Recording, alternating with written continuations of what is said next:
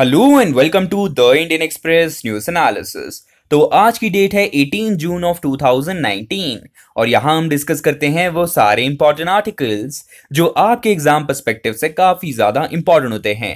तो चलिए देखते हैं कि वो कौन से आर्टिकल्स है जो आज हमें आज डिस्कस करने हैं। उससे पहले उन क्वेश्चंस को देख लेते हैं जो मैंने आपसे कल पूछे थे। पहला क्वेश्चन है कि बताइए तुर्कमेनिस्तान की कैपिटल करेंसी क्या है? तो जैसा कि आप यहाँ मैप पे देख सकते हैं, इसी कैपिटल है अशगाबाद, और इसकी करेंसी की बात करते हैं तो वह तुर्कमेनिस्तान मन्नत। उसी के साथ साथ आपको अगर याद हुआ कल हम एक आर्टिकल डिस्कस कर रहे थे सेंट्रल एशिया और इंडिया से रिलेटेड तो वहाँ पे हमने अशगाबाद अग्रीमेंट के बारे में डिस्कस किया था। तो वो जो अग्रीमेंट था, उसका जो नाम है, वो यही से डिराइव होता है। अगला क्वेश्चन था कि बताइए जिम कॉर्बेट नेशनल पार्क कहाँ पे लोकेटेड है? तो ये नेशनल पार्क आपको नज़र आएगा उत्तराखंड में, और उसकी जो लोकेशन है, वो आप यहाँ पे देख सकते हैं। अब बात करते हैं यहाँ पे एटोल पेज की। एटोल पेज पे लेफ़्ट साइड पे जो पहला आर्टिकल है डॉक्टर्स की प्रोटेस्ट रिलेटेड है तो उसके संदर्भ में हम समझेंगे कि डॉक्टर और पेशेंट की रिलेशनशिप में क्या हमें यहाँ पे फोकस करने की ज़रूरत है फ्यूचर में, और उसके साथ साथ यहाँ पे कौन कौन से अमेंडमेंट्स हम ला सकते हैं तो वो सारी चीज़ों को जो हम डिस्कस करेंगे इस आर्टिकल में। नीचे वाला आर्टिकल मैनुअल स्कैवेंजिंग से रिलेटेड है। इस आर्टिकल का पूरा कंटेक्स्ट ये है कि रिसेंटली जो है गुजरात में बहुत सारे मैनुअल स्कैवेंजर्स जो है, उनकी यहाँ पे ऑन साइट यहाँ पे डेथ हुई है। लेकिन अगर हम यहाँ पे अपने कॉन्स्टिट्यूशन और यहाँ पे लॉस की बात करते हैं तो वहाँ पे हमने हर बार कहा कि हम जो है मैनुअल स्कैवेंजर को एलिमिनेट करना चाहते हैं। लेकिन आज तक जो है हमें सिर्फ़ वो सिर्फ़ ऑन पेपर अचीव कर पाए, लेकिन जो है रियलिटी में कभी अचीव हो ही नहीं पाया है। इवन बहुत सारे न्यूज़ आर्टिकल हमने ये भी पढ़े थे, जहाँ पे जो है इवन जो खुद की जो गवर्नमेंट सरकार है, वो जो है यहाँ पे बहुत सारे लोग को एम्प्लॉय करता है मानल स्कैवेंजिंग में और कोई भी जो है प्रोडक्टिव गेस उन्हें प्रोवाइड नहीं करता है। तो ऐसे भी न्यूज़ आर्टिकल्स हमने ऑलरेडी पढ़े हुए हैं। तो उस सब चीज़ों को हम डिस्कस करेंगे इस आर्टिकल में। सेंटर में जो आर्टिकल है इंडो पैसिफिक रीजन से रिलेटेड है, हमने यहाँ पे इंडो पैसिफिक रीजन के बारे में उसकी इंपॉर्टेंस क्या है, वो सारे बहुत बार डिस्कस किए हुए हैं, लेकिन इस आर्टिकल में ज़्यादातर फोकस यही रहने वाला है कि यहाँ पे पाँच कौन सी चीज़ें जो हम यहाँ पे काम कर सकते हैं, जिससे जो है यहाँ पे इंडो पैसिफिक रीजन में हमारा जो प्रोमिनेंस है वो यहाँ पे बढ़ सकता है। अगर आप एक बार रिवाइज करना चाहते हैं तो इंडो पैसिफिक रीजन की इंपॉर्टेंस इसलिए बढ़ जाती है क्योंकि यहाँ पे जितनी कंट्रीज़ है उनके साथ काफ़ी आसानी से हम कल्चरली कनेक्ट कर सकते हैं। आज ज़्यादा जो एनर्जी ट्रेड है इस एरिया से निकलता है, इसकी प्रोटेक्शन वो काफ़ी इंपॉर्टेंट होती है, यहाँ पे फिशिंग कल्चर काफ़ी ज़्यादा इंपॉर्टेंट है। यहाँ पे मिनरल्स काफ़ी ज़्यादा मात्रा में मिलते हैं। तो ये सारे इंपॉर्टेंट रीजन है जिस वजह से जो हम इस एरिया पे काफ़ी ज़्यादा जो है कॉन्सेंट्रेट कर रहे हैं। एक और रीजन ये भी है कि चाइना को जो काउंटर करना है हमें इस एरिया में, क्योंकि वो जो है एक स्ट्रिंग ऑफ़ पोल्स यहाँ पे क्रिएट कर रहे हैं इंडिया के आसपास। तो उसे काउंटर करने के लिए जो है इस एरिया पे हमें अपना फोकस बढ़ाने की ज़रूरत है। अब क्या क्या यहाँ पे रिकमेंड किया ऑथर के द्वारा, वो हम यहाँ पे डिस्कस करेंगे इस आर्टिकल में। नीचे वाला आर्टिकल इसरो से रिलेटेड है। हमने यहाँ शायद तीन दिन पहले यहाँ पे इसरो से रिलेटेड आर्टिकल डिस्कस किया था, जहाँ पे हमने ये समझा था कि अगले दस सालों में उनका क्या क्या प्लान है, हर मिशन की क्या इंपॉर्टेंस है, वो सारी चीज़ें हमने ऑलरेडी डिस्कस की है। लेकिन इस आर्टिकल में हम डिस्कस करेंगे यहाँ पे इंडियन स्पेस स्टेशन की जो हम बात कर रहे थे तो उसमें यहाँ पे चार सवाल उठाए गए ऑथर के द्वारा, जैसे कि उसके फाइनेंस से रिलेटेड क्यों हम कोलेबरेट नहीं कर रहे बाकी कंट्रीज़ के साथ तो इससे क्या खर्चा आने वाला है तो उन सब चीज़ों के बारे में जो है हम डिस्कस करेंगे इस आर्टिकल में। नेक्स्ट पेज पे ये वाला आर्टिकल जल मिनिस्ट्री से रिलेटेड है आप जानते हैं कि एग्जिस्टिंग जो मिनिस्ट्रीज थी यहाँ पे वाटर और सैनिटेशन की तो उन सबको जो है मर्ज करके यहाँ पे नई मिनिस्ट्री बनाई गई है अब इसका एम यही है कि यहाँ पे पाइप वाटर जो है सबको प्रोवाइड करना है इन अ सस्टेनेबल मैनर अब इसको करने के लिए यहाँ पे रिकमेंड यही किया जा रहा है कि यहाँ पे डिसेंट्रलाइज तरीके से इसे मैनेज करके एक इंटीग्रेटेड सिस्टम बनाएँगे तब जाके ये वर्क करेगा अब यहाँ पे डिसेंट्रलाइजेशन का मतलब ये है कि यहाँ पे जो है पूरा जो पावर यहाँ पे वाटर डिस्ट्रीब्यूशन का वो यहाँ पे लोकल अथॉरिटीज उन लोगों को देंगे लेकिन अगर कोई प्रॉब्लम होती है अगर कोई पे डिसीज़न लेना है तो इंटीग्रेटेड मैनर में लिया जाएगा। तो उसके बारे में हम डिस्कस करेंगे इस आर्टिकल में। नेक्स्ट ये वाला आर्टिकल भी इसलिए हांगकांग से रिलेटेड है। ये हमने एक्चुअली वर्ल्ड न्यूज़ में बहुत बार डिस्कस किया हुआ है, जिसके यहाँ पे आप जानते हैं कि एक्सट्रीशन बिल जिसको यहाँ पे अपोज किया जा रहा है हांगकांग में तो उसी के बारे में यहाँ पे बताया जा रहा है। और एक और बात यही बताया जा रही है कि हांगकांग में इससे पहले भी बहुत सारे प्रोटेस्ट हो चुके हैं। एक सबसे आइकॉनिक था वो यहाँ पे अम्ब्रेल रेवल्यूशन था, जो कि टू में हुआ था तो उसी के बारे में यहाँ पे बताया जा रहा है। चाइना का जो रूल है, काफ़ी ज़्यादा जो है यहाँ पे डिक्टोरियल रहा है यहाँ पे, जब कहते हैं हम बात करते हैं हांगकांग की या फिर ताइवान की या फिर मकाओ की तो उन सारे रीजन में जो है फिर काफ़ी डिक्टोरियल रोल रहा है यहाँ पे चाइना का तो उसके बारे में यहाँ पे बताया जा रहा है, जो हमने ऑलरेडी डिस्कस किया है। नीचे वाला आर्टिकल यहाँ पे फॉरेन ट्रिब्यूनल्स एनआरसी से रिलेटेड है। तो यहाँ पे बेसिक चीज़ें तो हमें ऑलरेडी पता है, लेकिन इस आर्टिकल में हम डिस्कस करेंगे कि वहाँ पे जो नॉर्मल जनता है, उनके ऊपर क्या यहाँ पे बीत रही है। सबसे पहले बात करेंगे कि यहाँ पे रिसेंट केस हुआ था जहाँ पे एक आर्मी का जो इंसान है तो उनको जो यहाँ पे फॉरनर यहाँ पे बना दिया गया था। अभी फ़िलहाल उन्हें छोड़ दिया गया है, लेकिन यहाँ पे समझना आपको ये है कि ऐसे बहुत सारे लोग हैं जिनके ऊपर यहाँ पे जो है फॉरनर का दर्जा दे दिया गया है। अब जब से फॉरन ट्रिब्यूनल की जो अंडरलाइन लॉस उसे चेंज कर दिया गया है, जिसके अंतर्गत आपकी ऊपर रिस्पॉन्सिबिलिटी बन जाती है कि आप आपको खुद प्रूव करना है कि आप जो फॉरनर नहीं है। तो ये जो इग्नोर जो यहाँ पे इनोसेंस का पहले एग्जिस्टिंग करता था फीचर तो उसे कंप्लीटली हटा दिया गया है। इवन हमने एक आर्टिकल में डिस्कस किया था कि यहाँ पे फॉरन जो ट्रिब्यूनल्स है तो उसमें जो यहाँ पे जुडिशियल लोग जो है काफ़ी ज़्यादा कम मात्रा में उसी वजह से उसकी एलिजिबिलिटी भी चेंज की जा रही थी। तो सारी चीज़ों को हम डिस्कस करेंगे इस आर्टिकल में।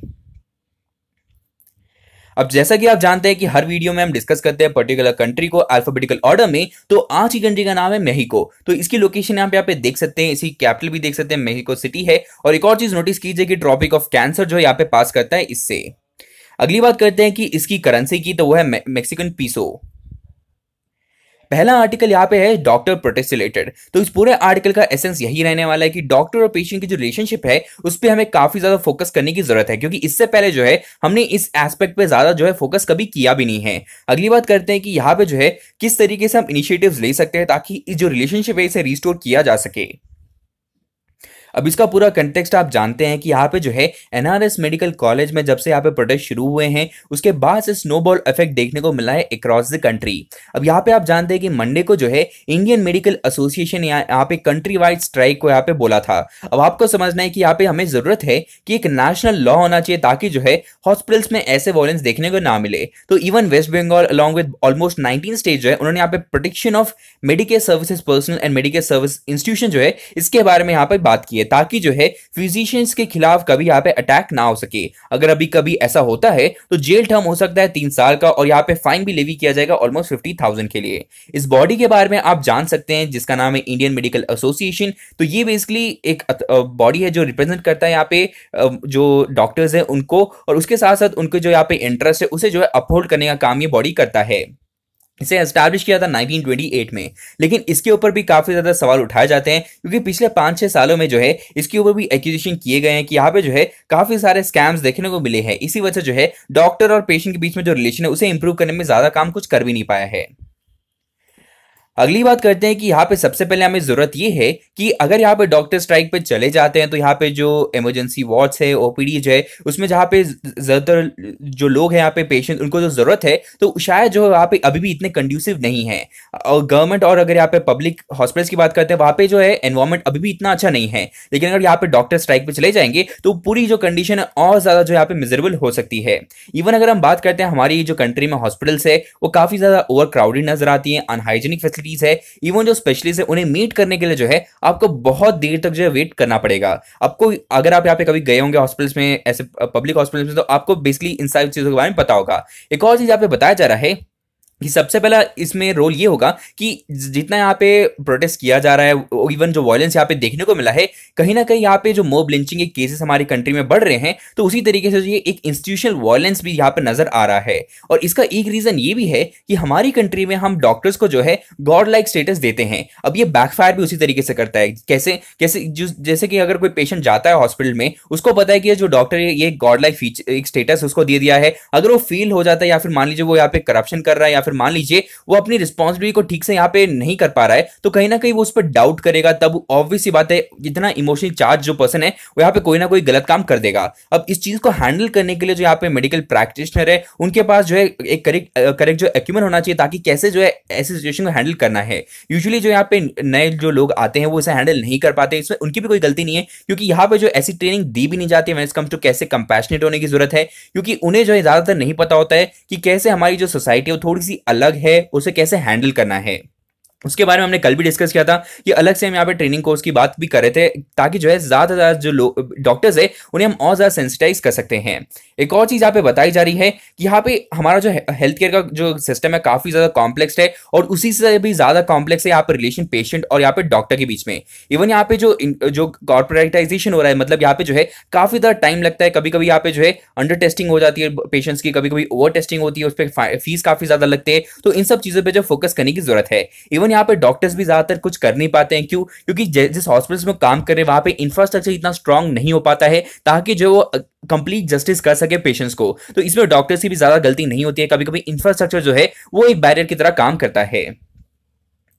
अगला यहाँ बात करें कि हमारी कंट्री में जो हेल्थ केयर सिस्टम है, उसमें अभी भी हमें एडिक्वेट अटेंशन देने की ज़रूरत है फिजिशियंस पे। क्योंकि जितने भी यहाँ पे जूनियर डॉक्टर्स आते हैं, उनको यहाँ पे उनकी कम्युनिकेशन स्किल इंप्रूव करना ताकि जो है, जो इमोशनली चार्ज जो रिलेटिव है ऑफ़ पेशेंट्स तो उनको जो यहाँ पे ठीक से हैंडल किया जा सके। क्योंकि अभी भी देखने को मिला है कि यहाँ पे जब हम बात करते हैं डॉक्टर रिलेशनशिप की, वो काफ़ी ज़्यादा जो है पेटर्नलिस्टिक है। मतलब यहाँ पे जब आपको किसी पेशेंट को बताना होता है उसकी बीमारी के बारे में तो हम अभी भी काफ़ी सारे जागन यूज़ करते हैं, जो एक नॉर्मल जनता जो है समझ नहीं पाएगी। उसको ठीक से समझाना पड़ता है हमें कि कैसे जो है, जो सिम्टम्स आपको उसको कैसे हैंडल करना है तो इसके बारे में जो डिटेल्स है, वो यूजली डॉक्टर्स नहीं दे पाते हैं। इवन अगर बात करते हैं डॉक्टर्स को अगर कोई बैड न्यूज़ देनी होती है पेशेंट्स को तो इतने अच्छे से कन्वे नहीं कर पाते हैं। तो वो सारी चीज़ों पर जो काफ़ी जो है काम करने की ज़रूरत है। और ये जो रिसेंटली इंसिडेंट्स हुआ है एनआरएस में तो वो जो एक ट्रिगर पॉइंट की तरह हम देख सकते हैं कि हमें जो है इस चीज़ पे या फिर इस पर्टिकुलर एरिया या डोमेन पे भी जो है फोकस करना शुरू कर देना चाहिए।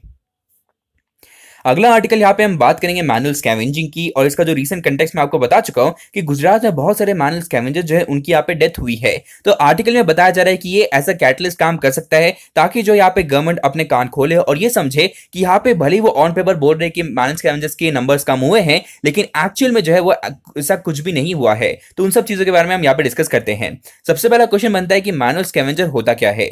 अब यहाँ पे ये एक ऐसा शख्स होता है जो एम्प्लॉय करता है when is come to manual cleaning carrying and handling human excreta अब आईएलओ के हिसाब से वो डिफाइन करता है तीन अलग अलग फैक्टर्स के हिसाब से कि रिमूवल ऑफ़ ह्यूमन एक्सक्रीटा या फिर क्लीनिंग सेप्टिक टैंक्स या क्लीनिंग गटर एंड सीवर्स तो अगर आप इनमें से तीन में से कोई भी एक काम करते हैं तो आपको जो है मैनल स्केवेंजर्स के डेफिनेशन में आपको ला दिया जाता है।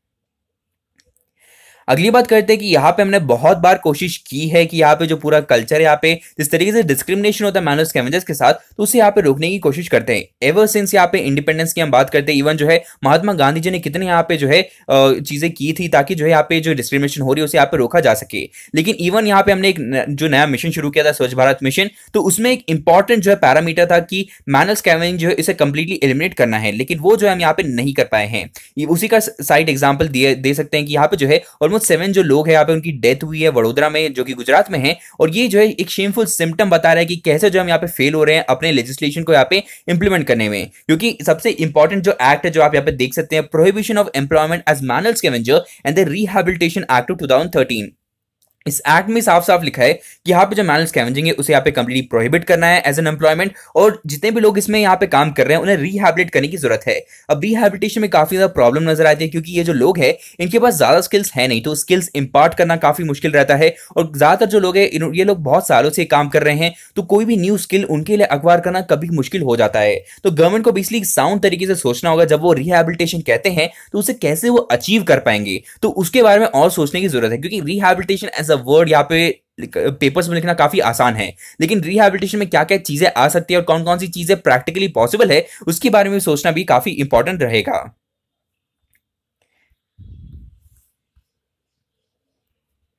अगली बात करते हैं कि कौन कौन से प्रोविज़न यहाँ पे अवेलेबल है। यहाँ पे एक प्रोविज़न मैंने आपको ऑलरेडी बता दिया, ये वाला जो रिहेबिलिटेशन का एक्ट है, उसके साथ साथ यहाँ पे उसको पूरी तरीके से मॉनिटर करने के लिए यहाँ पे नेशनल कमीशन फॉर सफ़ाई कर्मचारी। तो ये जो है इन्हें मॉनिटर करते हैं। लेकिन अगर आप देख रहे हैं कि मैनेज कैवेंजिंग अभी हो रही है बिना किसी प्रोटेक्टिव गेट्स के तो ऑब्वियसली बात यही है इसका मतलब कि ये जो कमीशन है, ठीक से अपना काम नहीं कर रहा है। उसके साथ साथ हमने बहुत सारे इनोवेशन किए कि यहाँ पे मैकेनाइज क्लीनिंग सिस्टम लेकर आए हैं, लेकिन अभी भी बहुत सारी जगहों पर जो है इसे इंप्लीमेंट नहीं कर पाए हैं।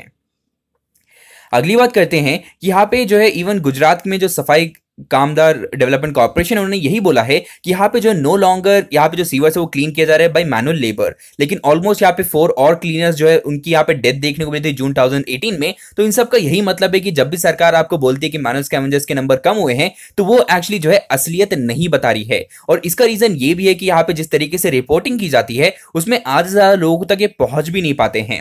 उसका एक एग्ज़ाम्पल यहाँ पे आप देख सकते हैं कि यहाँ पे जो है टू का जो सोशियो इकोनॉमिक का सेंसस हुआ था, उसमें महाराष्ट्र में सबसे ज़्यादा यहाँ पे आपको मैनुअल स्कैवेंजर्स दिखेंगे। लेकिन अगर हम बात करते हैं ऑन पेपर्स की तो ऑन पेपर में इससे भी ज़्यादा लोग आपको नज़र आएँगे। लेकिन अब जब हम बात करते हैं कि जब पेमेंट कैश पेमेंट की हम बात कर रहे थे और कितने लोगों को यहाँ पे आइडेंटिफाई किया गया, वो काफ़ी कम मात्रा में किया गया है। तो कहीं ना कहीं आपको समझना है कि जिस तरीके से अंडर रिपोर्टिंग की जा रही है, किस तरीके से हम डेटा कलेक्ट कर रहे हैं, उसमें बहुत बड़ी यहाँ पे फैलिसीज नज़र आ रही है।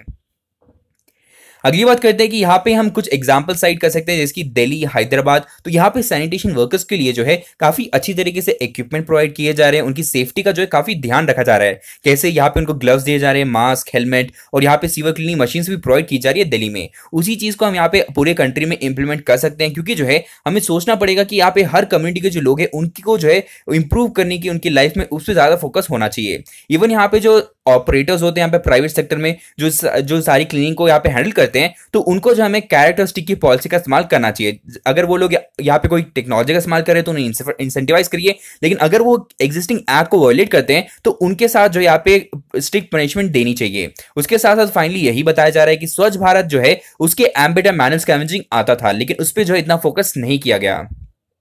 अगला यहाँ पे देख सकते हैं, बहुत सारे न्यूज़ आर्टिकल्स आए थे, जहाँ पे जो है, हम टेक्नोलॉजी का इस्तेमाल कर रहे थे। यहाँ पे आप देख सकते हैं जो रोबोट है, जिसका नाम है बैंडिकोट तो वो उसका जो एग्ज़ाम्पल है आप यहाँ पे देख सकते हैं। आगे भी उसके बारे में हम समझेंगे, लेकिन उससे पहले समझते हैं कि क्या क्या और इश्यूज़ है जो मैनस कैवेंजर्स फेस करते हैं डेली लाइफ तो सबसे पहले तो ये जो मैनस कैवेंजर्स है, वो एक्चुअली एक पर्टिकुलर कास्ट को बिलोंग करते हैं यूजुअली तो उनके ऊपर काफ़ी ज़्यादा कास्ट में डिस्क्रिमिनेशन होती है। उसके बाद यहाँ पे जिस तरीके का वो काम करते हैं, वो बेसिकली ह्यूमन राइट को ही वॉयलेट कर देता है। इवन अगर बात करते हैं कि उनको जो है इन लॉज के बारे में नहीं पता जैसे कि अभी जो 2013 का मैंने एक्ट बताया, आपको सच में लगता है कि ज़्यादातर जो आप मैल्स कैवेंजर उनको इस बारे में पता होगा। तो ऑब्वियसली बात है, ये भी जो है आपको समझने की ज़रूरत है कि इसके बारे में अवेयरनेस क्रिएट करना भी काफ़ी इंपॉर्टेंट है। अगली बात करते हैं कि जिस तरीके वो प्रोफेशन में उसमें काफ़ी ज़्यादा जो ऑक्यूपेशन हजार्ड है। क्योंकि आप जो है, अगर कभी भी ऐसे एरिया में उतरते हैं तो बहुत सारी डिसीजेज जो आपको हो सकती है। अगर मान लीजिए आपको कोई डिसीज हो जाती है तो उसके लिए आपको फिर डॉक्टर्स के पास जाना होगा, उसके उतने, उसके लिए आपके पास पैसे होने चाहिए। तो वो सारी जो प्रॉब्लम्स है, वो काफ़ी ज़्यादा नज़र आती है। क्योंकि ये काम करने के लिए उनको जो पेमेंट है वो काफ़ी कम मिलती है। तो ऑब्वियसली बात है डिसीज जो है काफ़ी ज़्यादा मात्रा में यहाँ पे फैलने लगेंगी। तो उससे जो है हेल्थ इश्यूज़ और जो स्टेटस वुमेन है, वो काफ़ी ज़्यादा जो है हर्ट हो जाता है। क्योंकि यहाँ पे देखने को मिलता है कि स्टैटिस्टिक के हिसाब से काफ़ी ज़्यादा जो वुमेन है यहाँ पे मैनल स्कैवेंजिंग में नज़र आती हैं। अगर यहाँ पे टाइमलाइन देख सकते हैं लेजिस्लेशन की इवन जो हमारा संविधान है, उसमें बहुत सारे आर्टिकल यहाँ पे बताते हैं कि हमें राइट टू इक्वालिटी प्रोवाइड करनी है, यहाँ पे प्रोहिबिट करना है on any kind of discrimination based on caste race sex तो उन सब चीज़ों के बारे में आप यहाँ पे देख सकते हैं। लेकिन उसके बावजूद जो हमने यहाँ पे भले लॉ को लेकर आ गए हैं, लेकिन उसकी कभी भी जो है इफ़ेक्टिव इम्प्लीमेंटेशन हम नहीं कर पाए हैं। अगला जो मैंने यहाँ पे बताया था, आपको एक एग्ज़ाम्पल तो उसका जो है बेसिकली एक बेस्ट प्रैक्टिस कर आप देख सकते हैं कि केरला में जो है कोशिश कर रहे हैं कि यहाँ पे जो है एक रोबोट बनाया जिसके बारे में बताया था बैंडिकोट तो उसको जो है यूज़ करेंगे यहाँ पे सीवेज क्लीनिंग में। लेकिन ऑब्वियसली बात है, इसे ऑल ओवर इंडिया में इंप्लीमेंट करने में थोड़ा सा टाइम तो लगेगा ही। अगला आर्टिकल हम डिस्कस करेंगे इसरो से रिलेटेड यहाँ पे बात कर रहे हैं कि इसरो को शायद यहाँ पे प्राइवेट सेक्टर जो है, उनको यहाँ पे इन्वाइट करना चाहिए। इससे जो हमारा जो एम स्पेस स्टेशन बनाने का तो उसे जो हम यहाँ पे थोड़ा सा और एक्सपीरिट कर सकते हैं। सबसे पहले हम जानते हैं कि ये जो पूरा इंडियन स्पेस स्टेशन की हम बात करें उसमें कुछ इंपॉर्टेंट फैक्टर्स क्या है? तो आपको सबसे पहले ये समझना है कि हमने जो है एक दिन में डिसाइड नहीं किया कि स्पेस स्टेशन हमें बनाना है। इसके लिए हमने बहुत सालों से काम किया हुआ है और बहुत सारी जो इंपॉर्टेंट टेक्नोलॉजीज़ है, उन्हें हमने धीरे धीरे डेवलप किया है। कुछ दो इंपॉर्टेंट टेक्नोलॉजी जिसका नाम है स्पेस डॉकिंग और यहाँ पे बर्थिंग टेक्नोलॉजी ताकि जो स्पेस स्टेशन है ये पर्टिकुलर ऑर्बिट में एक जगह पे जो है स्टेशनरी रह सके या फिर मूव कर रहा है तो उस पर एक्सपेरिमेंट जो है सस्टेनेबली हो सके तो उसके लिए काफ़ी एक्सपेरिमेंट्स ऑलरेडी हो चुके हैं। और उसके लिए जो यहाँ पे फाइनेंसिंग की ज़रूरत थी वो उसका इस्तेमाल कर चुके हैं, लेकिन उसके साथ साथ बोला जा रहा है कि जो स्पेस स्टेशन हम बनाने वाले हैं, वो एक्चुअली गगनयान जो मिशन है, जहाँ पे मैन लोग को यहाँ पे भेजने वाले हैं तो उसका ही एक एक्सटेंशन होने वाला है। अगला यहाँ पे फोकस किया है कि इसके लिए हम कोई कोलैबोरेशन नहीं कर रहे हैं, जिस तरीके से आप जानते हैं कि अभी जो इंटरनेशनल स्पेस जो स्टेशन है, उसकी जो लाइफ वो ऑलमोस्ट यहाँ पे अगले चार पाँच सालों में खत्म होने वाली है, लेकिन उसका जो ऑल्टरनेटिव है वो अभी तक नहीं आया है। तो उसी संदर्भ में यहाँ पे बोला जा रहा है कि इस वक्त जो है इसरो तैयार नहीं किसी भी कोलैबोरेशन के लिए।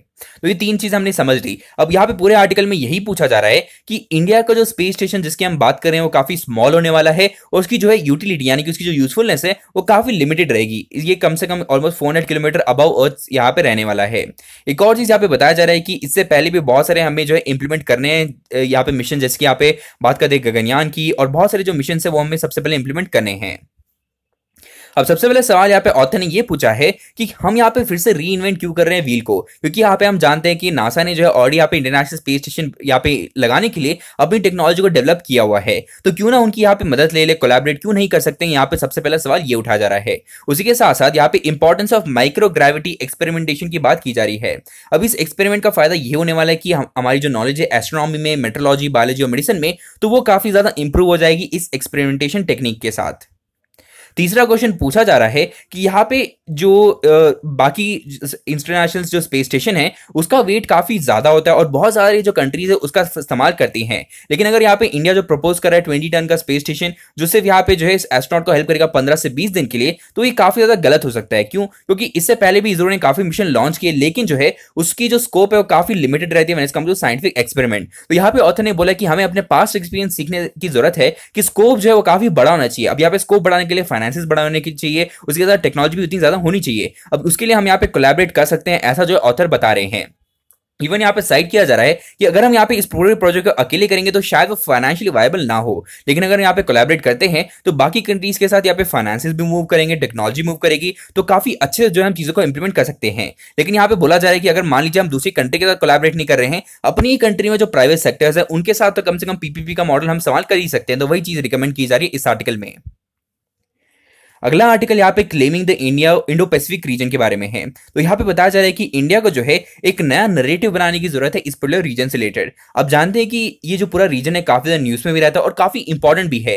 एक इंपॉर्टेंट चीज़ हमने डिस्कस की थी सागर के बारे में, जिसके अंतर्गत हम यहाँ पे बात करें कि यहाँ पे security and growth of all in the region अब ये जो है, इस पूरे एम के साथ जो है, हमारी जो कंट्री कोशिश कर रहा है कि जितने भी यहाँ पे आइलैंड नेशन है, उनको जो है इंटीग्रेट कर सके। उसके साथ साथ यहाँ पे हम बात करते हैं कि हम हमेशा ही बोलते हैं कि जो फ्रीडम ऑफ़ नेविगेशन है, उसे यहाँ पे अफोर्ड करने की ज़रूरत है, यहाँ पे रूल बेस्ड सिस्टम को फॉलो करने के लिए यहाँ पे हम बहुत सारी कंट्रीज़ को जो अर्ज़ करते हैं और उसको सबसे ज़्यादा वॉयलेट कौन करता है? चाइना करता है, क्योंकि उसका जो डोमिनेंस इस पर्टिकुलर रीजन में, वहाँ पे काफ़ी ज़्यादा मात्रा में बढ़ रहा है। इसीलिए आर्टिकल में सजेस्ट किया जा रहा है कि यहाँ पे मैं बाईलैटरल ट्राईलैटरल और जो क्वाड्रिलैटरल है तो वैसे जो यहाँ पे रिलेशन को शुरू कर देना चाहिए बाकी कंट्रीज़ के साथ। इवन यहाँ पे जो हमने ब्लू इकोनॉमी और रिसोर्स रिजाइलेंस इनिशिएटिव शुरू किए हैं, जिसके अंतर्गत हम यहाँ पे इस पूरे रीजन में जितनी भी कंट्रीज़ है, उनकी यहाँ पे एनर्जी सिक्योरिटी और बाकी जितनी चीज़ों पर हम कॉन्सेंट्रेट कर सकते हैं, उस पर जो है फोकस करना शुरू कर दिया है। इवन यहाँ पे जो इंटरनेशनल जो मैटाइम लॉस है, उन्हें काफ़ी अलग अलग तरीके से इंटरप्रेट किया जाता है। तो उसे जो है सिंक्रोनाइज करने पर फोकस करने की बात कर रहे हैं। इवन यहाँ पे बात कर रहे हैं कि जो हमारी जो कंट्री का ऑपरेशन रीच है उसे यहाँ पे बढ़ाने की ज़रूरत है। ऑपरेशन रीच इंप्रूव करने के लिए ज़रूरत है कि हम सारी कंट्रीज़ के साथ जो है बातचीत करना शुरू करें रिलेशन बढ़ाए, अपनी जो खुद की टेक्नोलॉजी से उन्हें डेवलप कर सके ताकि जो अगर कोई भी छोटे मोटे आइलैंड्स है, अगर उन्हें कभी ज़रूरत पड़े हमारी तो हम जो उन्हें यहाँ पे प्रोवाइड कर सके वो सारी फैसिलिटीज़ अगली बात करते हैं कि हमारा एक प्रोजेक्ट है जिसका नाम है सागर माला प्रोजेक्ट जिसके अंदर हम अपने जो पोर्ट्स है उन्हें यहाँ पे डेवलप कर रहे हैं। तो उसके बारे में हम आगे जानेंगे तो उसको और ज़्यादा जो इंपैक्टफुल बनाने की बात की जा रही है। अगली बात करते हैं कि यहाँ पे एक centre for Indo Pacific studies की बात करें, जिस, जो उसको यहाँ पे बनाने की बात करें पोर्ट ब्लेयर में, ताकि जो यहाँ पे मल्टी डिसिप्लिन सेंटर बन सके, जहाँ पे पब्लिक और प्राइवेट जो पार्टनरशिप है, वो भी यहाँ पे देखने को मिल सके। अब जो मैंने आपको इंपॉर्टेंट प्रोजेक्ट बताया था, सागरमाला प्रोजेक्ट तो उसके बारे में आप जान लेते हैं। तो आप जानते हैं कि हमारी जो कोस्ट लाइन है काफ़ी बड़ी है और यहाँ पे फोकस करना भी काफ़ी इंपॉर्टेंट है। कल भी हम डिस्कस कर रहे थे कि इसका आसपास के जो डेटा है, ये हम कलेक्ट भी कर रहे हैं ताकि जो है, हम इंपॉर्टेंट जो डिसीज़न यहाँ पे ले सके। अब बात करते हैं सागरमाला प्रोजेक्ट की। तो अगस्त टू में जो है एनडीए की जो सरकार थी तब अटल बिहारी वाजपेयी के अंदर तो उन्होंने इस प्रोजेक्ट को लॉन्च किया था। उसके बाद यहाँ पे इसका फिर नाम चेंज हो गया, जब सरकार चेंज हो गई, जिसका नाम था national night time development programme 2005 उसके बाद फिर यहाँ पे जो जब नई सरकार आई 2014 में तो उन्होंने फिर से इसको सागा माला की तरह लॉन्च किया। अब इसके कुछ तीन इंपॉर्टेंट पिलर है जो आप यहाँ पे याद रख सकते हैं। एक्चुअली चार पिलर है। सबसे पहले तो ये कि इसमें जो पोर्ट हम यहाँ पे डेवलप कर रहे हैं, उन्हें मॉडर्नाइज करना, नई तरह की कनेक्टिविटी पे यहाँ पे फोकस करना, उसके साथ साथ यहाँ पे पोर्ट लिंक इंडस्ट्रियलाइजेशन करना है। मतलब अगर मान लीजिए आपके आसपास यहाँ पे पोर्ट है, उसके आसपास कोई इंडस्ट्री जो इंपॉर्टेंट है, उसे डेवलप करना, ताकि वहाँ से जो भी प्रोडक्ट प्रोड्यूस हो रहा है तो उसे जो हम यहाँ पे एक्सपोर्ट कर सके तो उस पर फोकस किया जा रहा है। उसके साथ साथ यहाँ पे कोस्टल एरिया में जो कमिटी रह रही है, उनका भी जो उसी के साथ डेवलपमेंट करना। ये सारा जो एम रहेगा सागामाला प्रोजेक्ट का। अगला आर्टिकल हम डिस्कस करेंगे जल मिनिस्ट्री के रिलेटेड यहाँ पे पूरी कोशिश यही की जा रही है कि किस तरीके से हम जो डिसेंट्रलाइज करके इन सारे ऑब्जेक्टिव को अचीव कर सकते हैं। अब यहाँ पे हम जल मिनिस्ट्री में सबसे पहले रिकमेंड ये किया जा रहा है कि यहाँ पे बहुत सारे एग्जिस्टिंग बेस्ट प्रैक्टिसेस है। जिसकी आप नीचे देख सकते हैं, जैसे कि यहाँ पे लिखा हुआ है महाराष्ट्र में इवन यहाँ पे स्वाजल यहाँ पे जितने भी बेस्ट प्रैक्टिस है उनको जो हम यहाँ पे on a larger scale implement कर सकते हैं स्वाजल स्कीम के बारे में आप जान सकते हैं यहाँ पे देखते हैं कि कैसे यहाँ पे डिसेंट्रलाइज किया गया जैसे यहाँ पे ministry of drinking water sanitation है उसके नीचे यहाँ पे कमिटी ऑफ़ ड्रिंकिंग वाटर्स है उसमें यहाँ पे सस्टेन पाइपिंग है कुछ में यहाँ पे सोलर पावर यूज़ किया जा रहा है फिर यहाँ पे रूरल टेक्नीशियंस भी यहाँ पे एम्प्लॉय किए जा रहे हैं ताकि जो है वो यहाँ पे अगर कोई प्रॉब्लम होती है उन्हें चीज़ों को सॉल्व कर सके उसके साथ साथ यहाँ पे अगर कॉस्ट की बात करते हैं नाइन्टी गवर्नमेंट देता है उसके बाद कम्युनिटी टेन देता है लोकल विलेजेस को भी जो है यहाँ पे इंक्लूड किया गया है तो इस तरीके से कंप्लीट डिसेंट्रलाइज कर दिया गया पूरे इनिशिएटिव को। लेकिन जो पूरा पावर है, ये अभी भी जो है मिनिस्ट्री ऑफ़ ड्रिंकिंग वाटर जो है इंप्लीमेंट करेगा। तो उसी तरीके की मॉडल की बात करें यहाँ पे अक्रॉस द कंट्री एक और बात करते हैं कि इवन हमारी कंट्री में बहुत सारे स्टेट्स में वाटर क्राइसिस देखने को मिल रहा है तो यहाँ पे पाइप वाटर प्रोवाइड करना काफ़ी इंपॉर्टेंट होगा। उसे अचीव करने के लिए सबसे पहला स्टेप ये है कि इंटीग्रेटेड मैनेजमेंट सिस्टम हमें लाने की ज़रूरत है, ताकि जो यहाँ पे सेंटर जो यहाँ पे इंस्ट्रक्शन दे सके और उसे जो यहाँ पे डिसेंट्रलाइज तरीके से जो है अप्लाई भी हो सके। अब यहाँ पे उसके लिए सबसे इंपॉर्टेंट ये है कि यहाँ पे जो है लोकल पार्टिसिपेशन हमें बढ़ाने की ज़रूरत है। तो इसी वजह से हाउस होल्ड और कम्युनिटी बेस्ड स्टोरेज की बात कर रहे हैं। हम रेन वाटर हार्वेस्टिंग की बात तो करते ही है, लेकिन यहाँ पे अगर हम कम्युनिटी लेवल पे करना शुरू करेंगे तो ज़्यादा मात्रा में जो है वाटर हम कलेक्ट कर पाएँगे। इवन जो यहाँ पे अकाउंटेबिलिटी है, वो भी यहाँ पे बढ़ जाएगी। अगली बात करते हैं ड्रिंकिंग वाटर स्कीम ये काफ़ी इंपॉर्टेंट रहेगी, क्योंकि यहाँ पे बहुत सारी जो स्टेट्स हैं, यहाँ पे वहाँ पे जो ड्रिंकिंग वाटर भी यहाँ पे अवेलेबल नहीं नज़र आता है। अगली बात करते हैं, यहाँ पे माइक्रो इरीगेशन एग्रीकल्चर क्योंकि आधे से ज़्यादा जो वाटर है, वो यहाँ पे एग्रीकल्चर में इस्तेमाल होता है। तो वहाँ पे जो है किस तरीके से रेगुलेट करना है, जो माइक्रो इरिगेशन है, उस पर ज़्यादा फोकस कर सकते हैं। इवन यहाँ पे स्कीम थी जिसके अंतर्गत जो है, हम मोर क्रॉप पर ड्रॉप पे फोकस कर रहे थे, जिसके अंतर्गत यहाँ पे कम वाटर में जो है, यहाँ पे ज़्यादा एफिशिएंसी या ज़्यादा प्रोडक्टिविटी की हम बात कर रहे हैं। तो ऐसी स्कीम से हमें जो है, ज़्यादा फोकस करना है। उसके बाद यहाँ पे कोई भी अगर हम स्कीम लेकर आते हैं, यहाँ पे वाटर मैनेजमेंट से रिलेटेड तो सबसे बड़ा इंपॉर्टेंट रोल यही रहने वाला है कि कैसे जो हम यहाँ पे अवेयरनेस रेज कर पाएँगे और लोगों की जो बिहेवियर है, उसको चेंज करना पड़ेगा। क्योंकि यहाँ पे जो है वाटर को हम जो है, काफ़ी अलग ही तरीके से यहाँ पे वेस्ट करना शुरू कर देते हैं, हमें लगता है ये तो हमेशा रहने वाला है। लेकिन ये जो अवेयरनेस है, ये कंप्लीटली इंपॉर्टेंट भी है, उसके साथ जो परसेप्शन लोगों का, उसे भी चेंज करने की ज़रूरत है।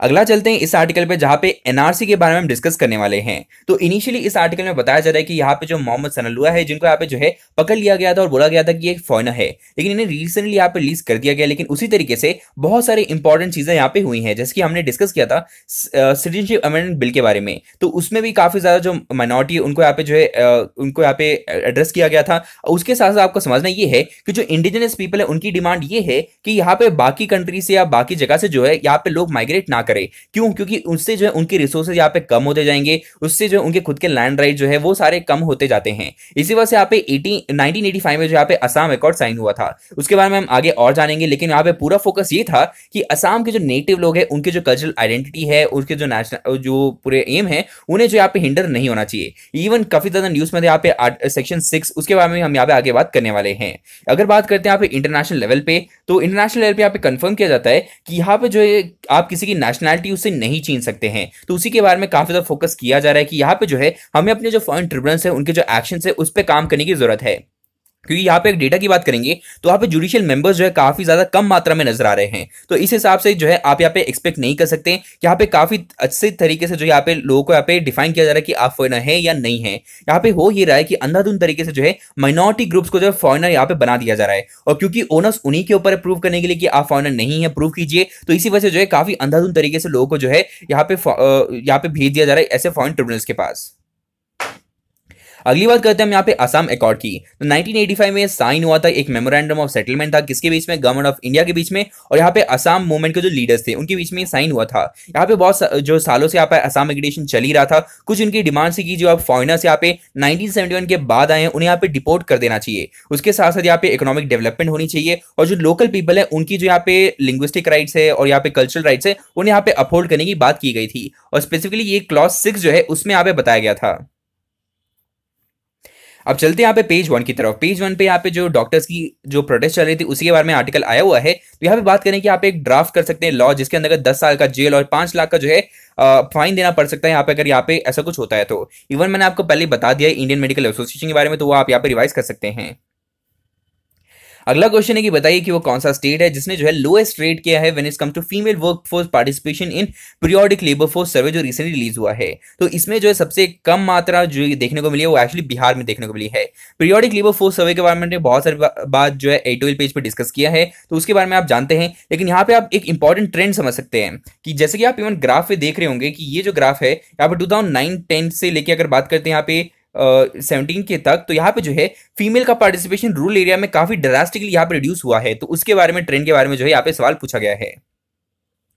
अगला यहाँ पे बिहार से रिलेटेड एक और न्यूज़ ये है, यहाँ पे हमने कल भी डिस्कस किया था एईएस की जो डिसीज है, यानी कि एक्यूट एंसेफेलाइटिस सिंड्रोम तो उसकी जो यहाँ पे तादाद वो काफ़ी ज़्यादा बढ़ गई है। चिल्ड्रन जो है इससे सबसे ज़्यादा इफ़ेक्ट होते हैं। सिम्टम्स क्या है वो आप यहाँ पे देख सकते हैं। रीजन हमने देखा था कि जब इसका कंपेरिजन किया जा रहा था कि यहाँ पे इवन वियतनाम में सेम प्रॉब्लम देखने को मिली थी। और वहाँ पे भी जो है लीचीज की जो प्रोडक्शन वो काफ़ी ज़्यादा नज़र आ रही थी। तो सेम चीज़ इवन एक्सप्लेन पे बताया जा रहा है कि इसका एक रीजन ये भी हो सकता है। इवन इंडिया में बात करते तो ये जो ब्लड शुगर ड्रॉप है, वो इसका स्पेसिफिक रीजन बन रहा है।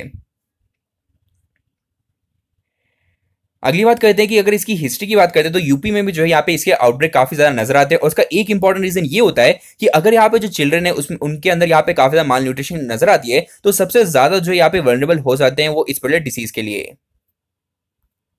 अब गवर्नमेंट ने इसके लिए ये स्टेप लिए हैं कि सबसे पहले तो यहाँ पे फ्री वैक्सीन प्रोवाइड कर रहे हैं और काफ़ी ज़्यादा जो हेल्थ सेंटर्स है, उन्हें यहाँ पे एम्पावर किया जा रहा है। अगला क्वेश्चन है कि बताइए कि वो कौन सी कंट्री है जिसने रिसेंटली जो है न्यू बैंक नोट रिलीज़ किए टेन थाउज़ेंड ट्वेंटी थाउज़ेंड और फिफ्टी थाउज़ेंड की डिनोमिनेशन की, क्योंकि वहाँ पे काफ़ी ज़्यादा हाइपर इन्फ्लेशन देखने को मिली है। तो ये एक्चुअली हुआ है वेनेजुला में। वेनेजुला की लोकेशन आप यहाँ पे देख सकते हैं साउथ अमेरिकन कॉन्टेंट में नज़र आएगा, ऊपर उसकी कैपिटल देख सकते हैं क्रैकस और आप जानते हैं रिसेंट कॉन्ट्रोवर्सी क्या चल रही है? क्योंकि यहाँ पे जो है इकोनॉमिक जो क्राइसिस आ चुका है, क्यों? क्योंकि यहाँ पे जो है दो पॉलिटिकल लीडर्स काफ़ी ज़्यादा झगड़ा कर रहे हैं। जैसे आप जानते हैं, इनके जो लीडर है यहाँ पे निकोलस मोदुरो उनको चैलेंज किया जा रहा है किसके द्वारा? जुआन गाइडो के द्वारा। इवन यहाँ पे इनकी जो इकोनॉमी है, वो धीरे धीरे जो डिट्रॉइट हो भी रही है। अगला आर्टिकल यहाँ पे वॉरहेड यानी कि न्यूक्लियर वॉरहेड से रिलेटेड है। तो इस आर्टिकल में यही बताया जा रहा है कि यहाँ पे नंबर ऑफ़ वॉरहेड्स रिड्यूस हो रहे हैं, लेकिन when it comes to the efficiency of those warhead वो काफ़ी ज़्यादा बढ़ गई है। मतलब टेक्नोलॉजिकल एडवांसमेंट मॉडर्नाइजेशन जो है, वो काफ़ी ज़्यादा बढ़ गया। मतलब अब पहले जो काम सौ न्यूक्लियर वॉरहेड्स करते थे, वो अब यहाँ पे एक ही कर सकता है, क्योंकि यहाँ पे इतनी तरीके से मॉडर्नाइजेशन की गई है। तो उसी का एग्ज़ाम्पल दिया जा रहा है कि यूएस और रशिया जो है, उन्होंने काफ़ी मात्रा में ये न्यूक्लियर वॉरहेड्स को कम किया है, लेकिन उनकी जो टेक्नोलॉजी अब इस्तेमाल कर रहे हैं काफ़ी ज़्यादा और जो डिट्रॉइटिंग हो सकती है। इवन यहाँ पे इंडिया ने जो है, यहाँ पे उसके कितने वॉलेट हो सकते हैं, उसको यहाँ पे एस्टिमेट किया गया है। ये जो रिपोर्ट है बेसिकली सिप्री के द्वारा रिलीज़ की जा गई है। इस सिप्री जो है, काफ़ी इंपॉर्टेंट बॉडी इसके बारे में आप जान सकते हैं। इसका फुल फॉर्म है Stockholm International Peace Research Institute तो ये बहुत सारी रिपोर्ट रिलीज़ करता है। सबसे इंपॉर्टेंट रिपोर्ट जो है, आप देख सकते हैं national report on arm export तो इसमें भी यहाँ पे जो है, इस रिपोर्ट के बारे में बताया जा रहा है। इसकी लोकेशन आप देख सकते हैं, कहाँ पे इसको हेडक्वार्टर मिलेगा, वो मिलेगा आपको स्टॉकहोम में, जो कि स्वीडन की कैपिटल है। अगला आर्टिकल यहाँ पे जीएम कॉटन से रिलेटेड है। तो यहाँ पे आप जान दें कि जो हम यहाँ पे जेनेटिकली मॉडिफाइड जो ऑर्गेनिजम्स या फिर मान लीजिए कोई भी प्लांट का इस्तेमाल करते हैं, उसमें जो सरकार है, उसने सिर्फ़ जीएम जीएम का जो बीटी कॉटन है, उसको सिर्फ़ अप्रूवल दिया है। उसके अलावा भी हमने बहुत सारी चीज़ों पे काम किया हुआ है जैसे कि हमने ब्रिजिल पे काम किया मस्टर्ड पे, लेकिन अभी भी जो है, उस पर कंसेंट नहीं दिया गया है इकोनॉमिक एनवायरमेंट मिनिस्टर के द्वारा। तो वही चीज़ यहाँ पे बताई जा रही है। लेकिन रिसेंटली हमने पढ़ा था कि यहाँ पर जो है, महाराष्ट्र में प्रोटेस्ट करना शुरू किया था। ऑलमोस्ट एक सिविल डिसोबिडियंस मूवमेंट की तरह बात की जा रही थी, जहाँ पे जो है, यहाँ पे बीटी कॉटन का एक और वेरियंट का इस्तेमाल किया जाएगा। सबसे पहले बात करते हैं जो एग्जिस्टिंग वेरिएंट है, उसमें जो है, हम यहाँ पे थ्रीजेनेसिस जो है, उसका इस्तेमाल करते हैं बेसिस थ्रीजेनिस का। उसमें जो है क्राई वन ए बी और क्राई टू बी सी जो है, इसका इस्तेमाल किया जाता है। लेकिन अभी जो है, एक और उसका वेरियंट है, जिसका काफ़ी ज़्यादा इस्तेमाल किया जा रहा है, लेकिन उसका जो है अप्रूवल नहीं मिला है। जिसका नाम है, यहाँ पे आप देख सकते हैं जो हर्बिसाइड टॉलरेंट है, जिसमें यहाँ पे C P four E P S P S का इस्तेमाल किया जा रहा है। तो इसी वजह से बोला जा रहा है कि हमारे एग्जिस्टिंग लॉज जो है, जैसे कि सीड एक्ट हो सकता है एनवायरमेंट प्रोटेक्शन एक्ट होता है तो उसमें अगर आप ऐसा कोई भी जीएम क्रॉप का इस्तेमाल करते हैं, जिसे जो है वैलिडेट नहीं किया गया है जीएसी के द्वारा, तब जो है आपके ऊपर चार्जेस लगाए जा सकते हैं। दूसरी के बारे में यहाँ पे बताया जा रहा है। अब इसकी जो इंपॉर्टेंट बॉडी है, जिसके आप याद रख सकते हैं, वो यहाँ पे है जेनेटिक इंजीनियरिंग अप्रेजल कमेटी तो इसके बारे में यहाँ पे थोड़ा सा जान लेते हैं। ये जो बॉडी है, काफ़ी इंपॉर्टेंट ये वर्क करता है ministry of environment forest and climate change के अंतर्गत। तो जीएम जितने भी क्रॉप्स बनते हैं, उनको वैलिडेट करना, ताकि जो है ये एनवायरमेंट को हार्म ना करे तो उस पर जो है फोकस होता है इस पर्टिकुलर कमेटी का। अगली बात करते हैं बीटी कॉटन की, जो एग्जिस्टिंग वर्जन है, जिसका सवाल यहाँ पे वैलिड है तो वो वो जो है यहाँ पे, उसका जो प्रोटीन है, ये आता है बैसलेस थ्रोजेनेसिस से। इसका फ़ायदा ये होता है कि इसमें जो प्रोटीन डेवलप होता है, उसको अगर यहाँ पे जो बॉलवर्म्स अगर वो खाते हैं तो उन, उनकी बेसिकली जो है डेथ हो जाती है तो इसी वजह से इसका इस्तेमाल किया जाता है। अगला आर्टिकल बेसिकली इतना इंपॉर्टेंट नहीं है बेसिकली पाकिस्तान से रिलेटेड है। उनका जो यहाँ पे आईसीआई जो, उनके नई चीफ का यहाँ पे सिलेक्ट किया गया है। इनका नाम बेसिकली आप देख सकते हैं लेफ्टिनेंट जनरल फैज हामिद तो वही बताया जा रहा है कि कैसे रिलेशन रहे उन्होंने, कैसा कैसा काम किया हिस्टोरिकली तो उस चीज़ को यहाँ पे डिस्कस किया जा रहा है। लेकिन टूअर्स द बताया जा रहा है कि इंडिया को यहाँ पे काफ़ी सतर्क रहने की ज़रूरत है और वही चीज़ों को यहाँ पे डिस्कस किया जा रहा है। अगला क्वेश्चन है यहाँ पे यूपीएससी में जो पूछा गया था वो था industrial employment standing order central amendment जो रूल्स है 2018 के तो उसके बारे में दो स्टेटमेंट दिए गए हैं। पहला स्टेटमेंट ये है कि बताइए कि इसमें जो फिक्स टर्म एम्प्लॉयमेंट था तो उसे इंप्लीमेंट करने से जो है फर्म्स और कंपनी जो है ले ऑफ़ कर सकते हैं वर्कर्स को काफ़ी आसानी से। और अगला स्टेटमेंट है कि यहाँ पे कोई नोटिस टर्मिनेशन का देने की ज़रूरत नहीं है वेन इस कम्स टू वर्कमैन तो दोनों ही जो स्टेटमेंट है काफ़ी ज़्यादा करेक्ट है तो इसमें जो है इसका आंसर बन जाता है बहुत वन एंड टू तो उसके बारे में और डिटेल्स आप देख सकते हैं और इसका जो पीडीएफ है आप यहाँ पे देख सकते हैं, इसमें जाके आप देखेंगे तो उसके जो पूरा अमेंडमेंट था, उसमें आप पे क्लियरली वही चीज़ें लिखी गई हैं। अब चलते यहाँ पे वर्ल्ड न्यूज़ में। वर्ल्ड न्यूज़ में ईरान ने यही बोला है कि वो जो है, जो यूरेनियम की स्टॉक पाइलिंग है, उसको यहाँ पे बढ़ाने वाला है नेक्स्ट टेन डेज़ में। तो ऑलमोस्ट ट्वेंटी परसेंट एनरिच कर सकता है अपने यूरेनियम को। इसको थोड़ा सा और समझ लेते हैं कि यूरेनियम एनरिचमेंट होता क्या है। अब यहाँ पे जो नेचुरल यूरेनियम मिलता है, उसमें almost zero point seven five percent seven percent जो है यूरेनियम टू थर्टी फाइव मिलता है। और यहाँ पे ऑलमोस्ट जो यहाँ पे बात करते हैं ninety nine point three percent of uranium two thirty eight जो है, ये फीजिबल मटेरियल ही नहीं है। तो इसी वजह से हम करते क्या है, यहाँ पे हम जो एनरिचमेंट करते हैं, ऐसे यूरेनियम का। लेकिन अगर आपको यहाँ पे कोई भी वेपन बनाना है तो ऑलमोस्ट नाइनटी परसेंट एनरिचमेंट की ज़रूरत होती है। एनरिचमेंट का मतलब है कि हम यहाँ पे जो है, इस पर यूरेनियम का कॉन्सेंट्रेशन जो है काफ़ी ज़्यादा बढ़ा देते हैं, ताकि जो फिजन जो है काफ़ी ज़्यादा वर्ल्टाइल तरीके से हो सके। लेकिन सिर्फ़ ट्वेंटी परसेंट की बात की जा रही है तो यूएस भी काफ़ी ज़्यादा यहाँ पे पॉजिटिव है कि इससे जो है यहाँ पे कोई भी वेपन डेवलप नहीं हो पाएगा। अब इसका एक रीजन ये भी है कि यहाँ पे ईरान की जो टेक्नोलॉजी डेवलपमेंट थी, यहाँ पे न्यूक्लियर से रिलेटेड तो उसमें यूएस ने काफ़ी ज़्यादा रोल प्ले किया था इनिशियली तो इसी वजह से उन दोनों को जो है अपने एक दूसरे के सीक्रेट काफ़ी अच्छे से पता भी है। अगला आर्टिकल यहाँ पे इकोनॉमी पेज से एनबीएफसी से रिलेटेड है। बेसिकली यहाँ पे इकोनॉमी पेज से बार बार एनबीएफसी के ऊपर ही आर्टिकल आ रहे हैं जो हमने ऑलरेडी डिस्कस किए हुए हैं। इसलिए मैंने कल भी डिस्कस नहीं किया था यहाँ पे भी बात की जा रही है कि एनबीएफसी पे फोकस करने वाले हैं, लेकिन हमने एक आर्टिकल शायद चार दिन पहले डिस्कस किया था कि हम जो है यहाँ पे सिंपली बेल आउट नहीं कर सकते एनबीएफसी को। क्यों? क्योंकि इससे यहाँ पे एक उनका यहाँ पे एक मॉडल हजार्ड है, जिससे लगेगा कि एनबीएफसी को लगेगा कि यहाँ पे कभी भी अगर कोई प्रॉब्लम होती है तो गवर्नमेंट बिल आउट कर ही देगा। तो उस मॉडल हज़ार से बचने के लिए जो है, सरकार यहाँ पे जो है सोच समझ के स्टेप लेने की कोशिश करेगा।